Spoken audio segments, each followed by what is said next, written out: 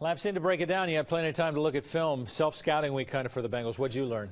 Andy did struggle, there's no question, but he wasn't alone. Run defense, whew, not very good at all. I mean, they never made a stand at the line of scrimmage, the defensive line.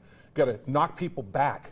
I mean, they were catching and running, and, and Cleveland was doing everything and anything they wanted to with them. 52 carries for 170 yards. Are you kidding me? You concerned about New Orleans running game now? Oh yeah, I mean New Orleans, they're running the ball well, Brad. They're they're sixth in the NFL, rushing for over 130 yards a game, averaging over 4.7 a carry. Ingram's got 100 yards in three straight football games. You give Drew Brees a running game to complement what he does in the air with Jimmy Graham and company, you got trouble. This is a fairly consistent team, although their record wouldn't show it. They're under 500. They lead their league, but they've lost four games by three points or less. Yeah, I mean, I, I think they win their division with a losing record. They got nobody in the NFC South. I mean, it's terrible, but eight of their nine games, they've had a lead with two minutes, less than two minutes to go in the game, and they've lost four of them.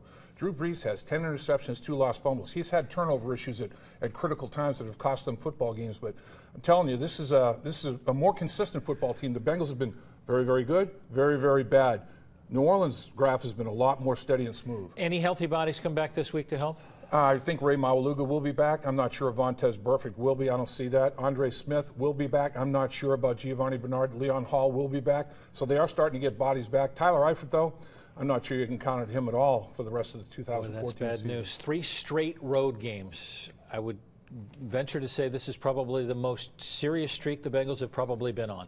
It's critical. It's time to grind. There's no doubt about it. Three road trips that aren't little puddle jumpers, you know. I mean, they're long road trips. How do you feel about Superdome? I like it. Hope they like it very much by the end of Sunday.